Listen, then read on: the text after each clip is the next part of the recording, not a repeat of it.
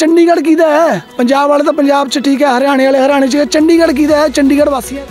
ਚੰਡੀਗੜ੍ਹ ਦੇ ਲੋਕਾਂ ਨੂੰ ਚੰਡੀਗੜ੍ਹ ਦਾ ਹੱਕ ਨਹੀਂ ਮਿਲਦਾ। ਪੰਜਾਬ ਦੇ ਨਾਲ ਹਰਿਆਣਾ ਵੀ ਇੱਥੇ ਆਪ ਜਿਹੜਾ ਹੱਕ ਜਤਾਉਂਦਾ ਰਿਹਾ। ਪਹਿਲਾਂ ਯੂਨੀਵਰਸਿਟੀ ਵਾਲਾ ਮਾਮਲਾ ਵੀ ਆਪਾਂ ਦੇਖਿਆ ਹਨਾ ਕਿ ਹਰਿਆਣੇ ਦੀ ਹਿੱਸੇਦਾਰੀ ਨੂੰ ਦੁਬਾਰਾ ਉੱਥੇ ਬਣਾਉਣ ਲਈ। ਤਾਂ ਦੋਨੇ ਜਿਹੜੀਆਂ ਸਟੇਟਾਂ ਨੇ ਦੋਨੇ ਜਿਹੜੇ ਸੂਬੇ ਨੇ ਇਹ ਵਹਿਸ ਕਰਦੇ ਨਜ਼ਰ ਆਏ ਨੇ ਚੰਡੀਗੜ੍ਹ ਨੂੰ ਲੈ ਕੇ। ਹਰਿਆਣਾ ਵੱਲੋਂ ਇੱਕ ਆਪਣੀ ਦਾਅਵੇਦਾਰੀ ਜਤਾਈ ਜਾਂਦੀ ਹੈ ਪੰਜਾਬ ਦਾ ਕਿਹੜਾ ਆਪਣਾ ਹੱਕ ਉਹ ਜਤਾਉਂਦੇ ਨੇ ਕਿ ਸਾਡਾ ਹੈ।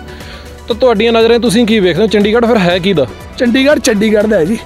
ਚੰਡੀਗੜ੍ਹ ਦੇ ਲੋਕਾਂ ਦਾ ਜਿਹੜੇ ਚੰਡੀਗੜ੍ਹ 'ਚ ਰਹਿੰਦੇ ਨੇ ਜਿਨ੍ਹਾਂ ਦਾ ਰੈਜ਼ੀਡੈਂਟ ਚੰਡੀਗੜ੍ਹ ਦਾ ਹੈ, ਤੇ ਉਹਨਾਂ ਦਾ ਚੰਡੀਗੜ੍ਹ ਹੈ ਤੇ ਉਹਨਾਂ ਦਾ ਹੀ ਹੱਕ ਚੰਡੀਗੜ੍ਹ ਤੇ ਹੈ।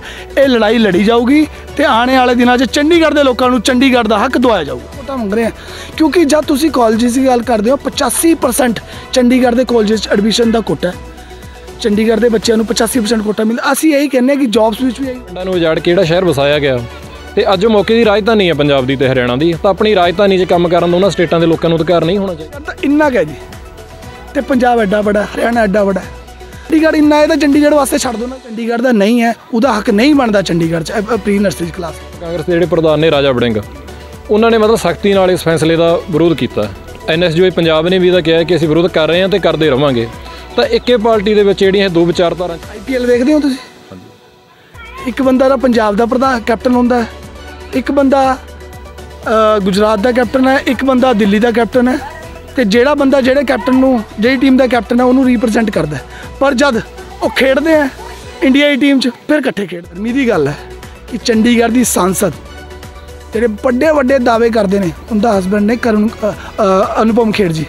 ਬ- ਪੂਰੇ ਜਿੱਥੇ ਵੀ ਕੋਈ ਗੱਲਬਾਤ ਹੁੰਦੀ ਹੈ, ਵੱਡੀ ਸਟੇਟਮੈਂਟ ਦਿੰਦੇ ਆ ਇੱਕ ਚੰਡੀਗੜ੍ਹ ਦੀ ਸੰਸਦ ਤੋਂ ਪਿਛਲੇ 9 ਸਾਲਾਂ 'ਚ ਕਿਰ- ਲਾਲ ਡੋਰੇ ਦਾ ਮੁੱਦਾ ਨਹੀਂ ਖਤਮ ਹੋਇਆ, ਕਹਿੰਦੇ ਕਹਿ ਰਹੀ ਹੈ ਲਾਲ ਖਤਮ ਕਰ ਦਿਓ, ਮੈਂ ਕਹਿ ਰਹੀ ਹੈ ਲਾਲ ਕਹਿਣਾ ਕਿਹਨੂੰ ਹੈ?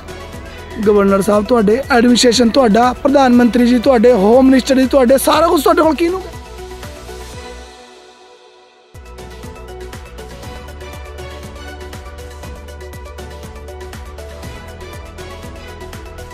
ਸਤਿ ਸ਼੍ਰੀ ਅਕਾਲ ਦੋਸਤੋ, ਮੈਂ ਕਰਨਮਾਨ ਪੀਜੂ ਪਲਸ ਤੋਂ।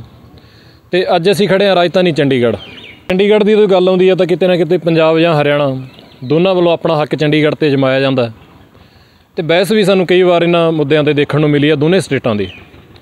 ਤੇ ਅੱਜ ਸਾਡੇ ਨਾਲ ਮੌਜੂਦ ਨੇ ਮਨੋਜ ਲਵਾਣਾ ਜੀ, ਜੋ ਕਿ ਯੂਥ ਕਾਂਗਰਸ ਚੰਡੀਗੜ੍ਹ ਦੇ ਪ੍ਰਧਾਨ ਨੇ।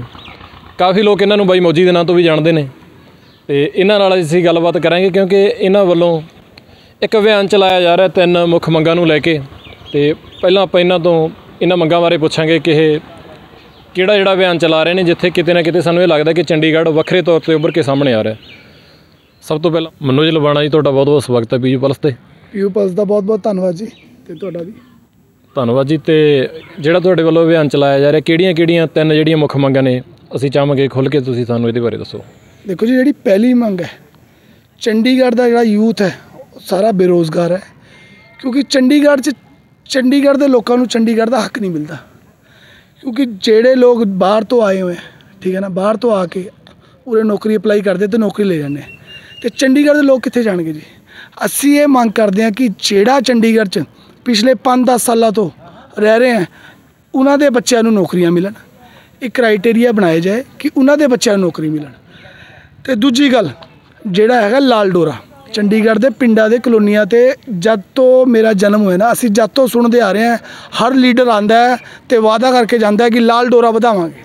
ਪਰ ਲਾਲ ਡੋਰਾ ਹਜੇ ਤੱਕ ਚੰਡੀਗੜ੍ਹ ਦੇ ਲੋਕਾਂ ਤੇ ਤਲਵਾਰ ਲਟਕ ਰਹੀ ਹੈ, ਕਿਉਂਕਿ ਜਦ ਕੋਈ ਇਹਨਾਂ ਨੂੰ ਸੁਵਿਧਾ ਦੇਣੀ ਹੁੰਦੀ ਹੈ, ਜਦ ਤੱਕ ਕਹਿੰਦੇ ਲਾਲ ਡੋਰੇ ਤੋਂ ਬਾਹਰ ਹੈ, ਪਰ ਜਦ ਵੋਟ ਲੈਣੀ ਹੁੰਦੀ ਹੈ, ਤਾਂ ਇਹ ਲਾਲ ਡੋਰੇ ਦੇ ਬਾਹਰ ਵਾਲੇ ਲੋਕਾਂ ਤੋਂ ਹੀ ਵੋਟ ਮੰਗਦੇ ਨੇ। ਤੇ ਸਭ ਤੋਂ ਜ਼ਰੂਰੀ ਚੀਜ਼ ਹੈ ਚੰਡੀਗੜ੍ਹ ਦੇ ਲੋਕਾਂ ਲਈ ਕਿ ਚੰਡੀਗੜ੍ਹ ਦਾ ਜਿਹੜਾ ਇਹ ਲਾਲ ਡੋਰੀ ਦੀ ਫਿਰਨੀ ਹੈ, ਇਹ ਵਧਾਈ ਜਾਏ। ਤੀਜੀ ਗੱਲ ਹੈਗੀ ਹੈ ਜਿਹੜਾ ਵਿਕਲਾਂਗ ਤੇ ਬੁਢਾਪਾ ਪੈਨਸ਼ਨ।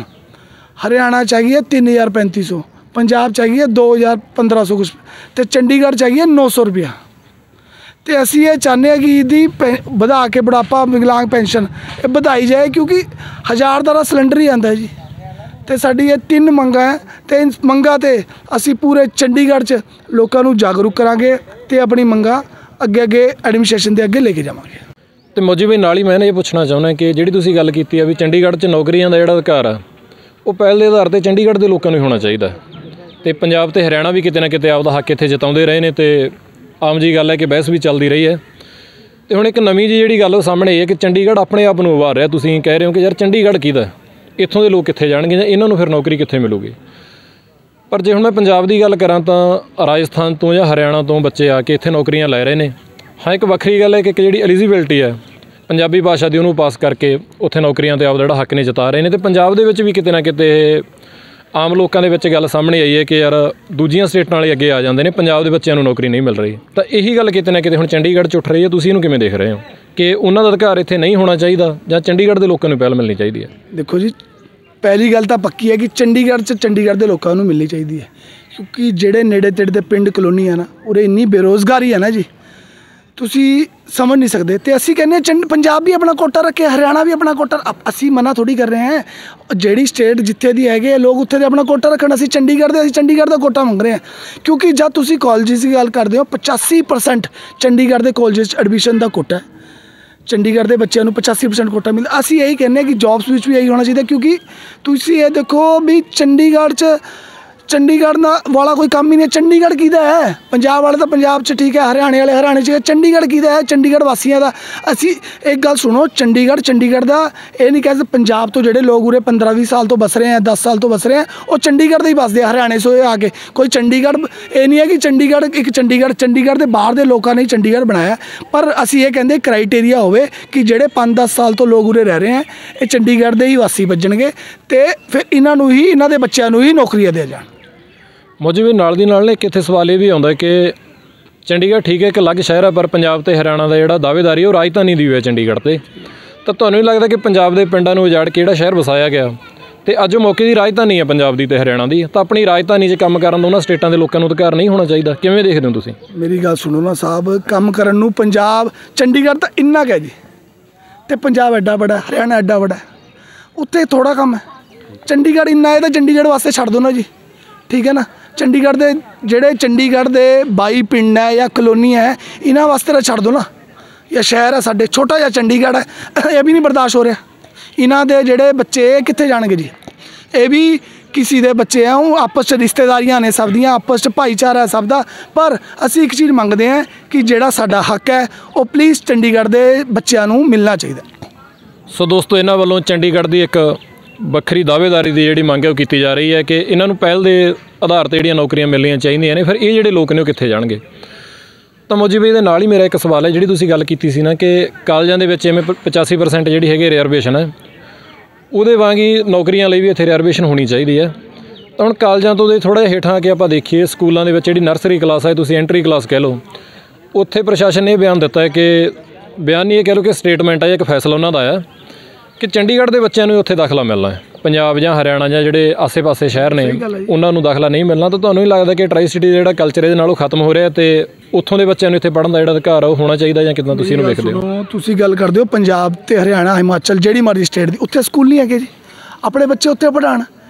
ਚੰਡੀਗੜ੍ਹ ਦੇ ਬੱਚੇ ਕਿੱਥੇ ਜਾਣਗੇ? ਫਿਰ ਚੰਡੀਗੜ੍ਹ ਦੇ ਜਿਹੜੀ ਐਡਮਿਸ਼ਨ ਦਾ ਇੱਕ ਕ੍ਰਾਈਟੇਰੀਆ ਹੈ ਕਿ ਇੰਨੇ ਬੱਚੇ ਇੱਕ ਕਲਾਸ 'ਚ ਹੋਣੇ ਚਾਹੀਦੇ ਹੈ ਉਰੇ ਦੀ ਜਨਰੇਸ਼ਨ ਵੱਧ ਰਹੀ ਹੈ, ਕਿਉਂਕਿ ਉਰੇ ਵੀ ਜਿਹੜੇ ਇਹ ਚੰਡੀਗੜ੍ਹ ਬਾਹਰ ਤੇ ਲੋਕ ਆ ਕੇ ਉਰੇ ਰਹਿ ਰਹੇ ਹੈ, ਉਹ ਵੀ ਵਿਚਾਰੇ ਉਹਨਾਂ ਉਹਨਾਂ ਦੇ ਬੱਚੇ ਕਿੱਥੇ ਜਾਣਗੇ? ਜਿਹਦਾ ਰੈਜ਼ੀਡੈਂਸ ਚੰਡੀਗੜ੍ਹ ਦਾ ਬਣ ਗਿਆ। ਉਹ ਉਹਦੇ ਬੱਚੇ ਉਰੇ ਪੜ੍ਹਨ, ਇਹ ਮਨਾ ਥੋੜੀ ਕਰ ਰਹੇ। ਪਰ ਜਿਹਦਾ ਰੈਜ਼ੀਡੈਂਸ ਚੰਡੀਗੜ੍ਹ ਦਾ ਨਹੀਂ ਹੈ, ਉਹਦਾ ਹੱਕ ਨਹੀਂ ਬਣਦਾ ਚੰਡੀਗੜ੍ਹ 'ਚ ਪ੍ਰੀ ਨਰਸਰੀ ਕਲਾਸ ਲੈ ਠੀਕ ਹੈ ਨਾ ਜੀ? ਜਿਹੜਾ 15% ਕੋਟਾ ਹੈ ਕਾਲਜਸ ਉਹਦੇ 'ਚ ਐਡਮਿਸ਼ਨ ਹੋ ਜਾਂਦੀ ਹੈ, ਹਰਿਆਣੇ, ਪੰਜਾਬ ਦੀ, ਠੀਕ ਹੈ? ਪਰ ਜਿਹੜਾ ਕੋਟਾ 85% ਉਹਦੇ ਚੰਡੀਗੜ੍ਹ ਦੇ ਬੱਚਿਆਂ ਦੀ ਐਡਮਿਸ਼ਨ ਹੀ ਹੋਣੀ ਚਾਹੀਦੀ ਹੈ, ਕਿਉਂਕਿ ਇਹ ਬੱਚੇ ਕਿੱਥੇ ਦਾ- ਕਿੱਥੇ ਜਾਣਗੇ ਜੀ? ਸੋ ਤੁਹਾਡਾ ਕਹਿਣਾ ਹੈ ਕਿ ਚੰਡੀਗੜ੍ਹ ਦੇ ਬੱਚਿਆਂ ਨੂੰ ਇੱਥੇ ਪਹਿਲ ਹੋਣੀ ਚਾਹੀਦੀ ਹੈ, ਕਿਉਂਕਿ ਜਨਰੇਸ਼ਨ ਹੈ ਜਿਹੜੀ, ਉਹ ਦਿਨੋ ਦਿਨ ਵੱਧ ਰਹੀ ਹੈ ਪੋਪੂਲੇਸ਼ਨ ਵੱਧ ਰਹੀ ਹੈ, ਤਾਂ ਉਹਦਾ ਕਰਕੇ ਫਿਰ ਇੱਥੋਂ ਦਾ ਆਪਦਾ ਹੀ ਇਹਨਾਂ ਦਾ ਪੂਰਾ ਨਹੀਂ ਆ ਰਿਹਾ। ਪਰ ਬਈ ਨਾਲ ਦੀ ਨਾਲ ਨਾ ਇੱਕ ਇਹ ਸਵਾਲ ਬਣਦਾ ਹੈ ਕਿ ਤੁਸੀਂ ਕਾਂਗਰਸ ਨੂੰ ਬਿਲੋਂਗ ਕਰਦੇ ਹੋ ਤੇ ਯੂਥ ਕਾਂਗਰਸ ਚੰਡੀਗੜ੍ਹ ਦੇ ਤੁਸੀਂ ਪ੍ਰਧਾਨ ਹੋ, ਤੇ ਪੰਜਾਬ 'ਚ ਮੈਂ ਦੇਖਾਂ ਪੰਜਾਬ ਕਾਂਗਰਸ ਦੇ ਜਿਹੜੇ ਪ੍ਰਧਾਨ ਨੇ ਰਾਜਾ ਵੜਿੰਗ, ਉਹਨਾਂ ਨੇ ਮਤਲਬ ਸਖਤੀ ਨਾਲ ਇਸ ਫੈਸਲੇ ਦਾ ਵਿਰੋਧ ਕੀਤਾ ਐਨਐਸਯੂਆਈ ਪੰਜਾਬ ਨੇ ਵੀ ਇਹਦਾ ਕਿਹਾ ਕਿ ਅਸੀਂ ਵਿਰੋਧ ਕਰ ਰਹੇ ਹਾਂ ਤੇ ਕਰਦੇ ਰਵਾਂਗੇ। ਤਾਂ ਇੱਕੇ ਪਾਰਟੀ ਦੇ ਵਿੱਚ ਜਿਹੜੀਆਂ ਇਹ ਦੋ ਵਿਚਾਰਧਾਰਾਂ ਚੱਲ ਰਹੀਆਂ ਨੇ, ਤੁਸੀਂ ਇਹਨੂੰ ਕਿਵੇਂ ਨਾ ਕਿਵੇਂ ਦੇਖਦੇ ਹੋ ਕਿ ਤਾਲਮੇਲ ਜਿਹੜਾ ਹੈਗਾ ਕਿਉਂ ਨਹੀਂ ਬਣ ਰਿਹਾ?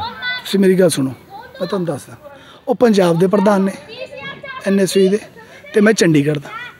ਆਈਪੀਐਲ ਵੇਖਦੇ ਹੋ ਤੁਸੀਂ? ਹਾਂਜੀ। ਇੱਕ ਬੰਦਾ ਦਾ ਪੰਜਾਬ ਦਾ ਪ੍ਰਧਾਨ ਕੈਪਟਨ ਹੁੰਦਾ ਇੱਕ ਬੰਦਾ ਗੁਜਰਾਤ ਦਾ ਕੈਪਟਨ ਹੈ ਇੱਕ ਬੰਦਾ ਦਿੱਲੀ ਦਾ ਕੈਪਟਨ ਹੈ। ਤੇ ਜਿਹੜਾ ਬੰਦਾ ਜਿਹੜੇ ਕੈਪਟਨ ਨੂੰ ਜਿਹੜੀ ਟੀਮ ਦਾ ਕੈਪਟਨ ਹੈ ਉਹਨੂੰ ਰਿਪਰੈਜ਼ੈਂਟ ਕਰਦਾ। ਪਰ ਜਦ ਉਹ ਖੇਡਦੇ ਆ ਇੰਡੀਆ ਦੀ ਟੀਮ 'ਚ ਫਿਰ ਇਕੱਠੇ ਖੇਡਦੇ ਆ ਪਰ ਜਦ ਗੱਲ ਆਪਦੀ ਸਟੇਟ ਦੀ ਆਊਗੀ ਨਾ ਆਪਦੀ ਉਹਦੀ ਆਊਗੀ ਤਾਂ ਆਪਾਂ ਉਹਨੂੰ ਹੀ ਰਿਪਰੈਜ਼ੈਂਟ ਕਰਾਂਗੇ। ਕਿਉਂਕਿ ਮੇਰਾ ਇੱਕ ਹੱਕ ਬਣਦਾ ਜੀ ਮੈਂ ਉਰੇ ਦਾ ਜੰਮ ਵਾਲਾ ਜੀ ਚੰਡੀਗੜ੍ਹ 'ਚ ਰਹੇ ਆ ਚੰਡੀਗੜ੍ਹ ਦੇ ਲੋਕਾਂ ਨੇ ਹੀ ਸਾਡੇ ਨਾਲ ਹਰ ਜਗ੍ਹਾ ਤੇ ਖੜੇ ਆ ਤੇ ਚੰਡੀਗੜ੍ਹ ਦੀ ਮੇਰੀ ਰਿਸਪੌਂਸਿਬਿਲਟੀ ਬਣਦੀ ਹੈ ਕਿ ਮੈਂ ਚੰਡੀਗੜ੍ਹ ਦੀ ਗੱਲ ਕਰੂੰਗਾ। ਜਦ ਤੱਕ ਚੰਡ, ਜਿੰਦੇ ਹੈਗੇ ਆ ਤੇ ਆਪਣੇ ਚੰਡੀਗੜ੍ਹ ਦੀ ਗੱਲ ਕਰੂੰਗਾ ਕਿਉਂਕਿ ਮੈਨੂੰ ਅੱਜ ਤੱਕ ਜੋ ਕੁਝ ਵੀ ਮਿਲਿਆ ਮੇਰੇ ਚੰਡੀਗੜ੍ਹ ਤੋਂ ਹੀ ਮਿਲਿਆ ਹੈ। ਸੋ ਦੋਸਤੋ, ਇਹਨਾਂ ਦਾ ਕਹਿਣਾ ਕਿ ਚੰਡੀਗੜ੍ਹ ਦੇ ਵਿੱਚ ਹੀ ਜੰਮੇ ਪਲੇ ਨੇ। ਇੱਥੋਂ ਹੀ ਇਹਨਾਂ ਨੇ ਜਿਹੜਾ ਆਪਣਾ ਰਾਜਨੀਤੀ ਦਾ ਸਫ਼ਰ ਉਹ ਸ਼ੁਰੂ ਕੀਤਾ ਤੇ ਅੱਜ ਇਹ ਚੰਡੀਗੜ੍ਹ ਨੂੰ ਹੀ ਰਿਪਰੈਜ਼ੈਂਟ ਕਰ ਰਹੇ ਨੇ, ਤਾਂ ਇਹ ਚੰਡੀਗੜ੍ਹ ਦੀ ਹੀ ਗੱਲ ਕਰਨਗੇ। ਇੱਕੇ ਪਾਰਟੀ ਦੇ ਵਿੱਚ ਜਿਹੜੀਆਂ ਦੋ ਵਿਚਾਰਧਾਰਾ ਨੇ, ਮੈਂ ਆਈਪੀਐਲ ਦਾ ਜਿਹੜਾ ਇਹਨਾਂ ਨੇ ਆਪਾਂ ਨੂੰ ਉਦਾਹਰਨ ਦਿੱਤੀ ਹੈ।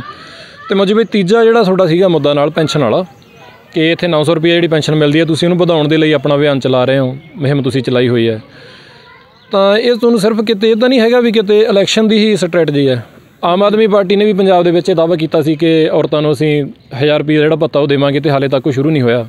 ਤੇ ਇਹ ਤੁਹਾਡਾ ਵੀ ਕਿਤੇ ਉਹੀ ਸਟੰਟ ਤਾਂ ਨਹੀਂ ਹੈਗਾ? ਸੁਣੋ ਮੈਂ ਤਾਂ ਕੋਈ ਇਲੈਕਸ਼ਨ ਜੀ ਮੈਂ ਇਲੈਕਸ਼ਨ ਤਾਂ ਕੋਈ ਨੇੜੇ ਤੇੜੇ ਹੈ ਨਹੀਂ ਜੀ। ਠੀਕ ਹੈ ਜੀ ਤੇ ਇਲੈਕਸ਼ਨ ਕੋਈ ਆਊਗਾ ਤੇ ਵੇਖਾਂਗੇ।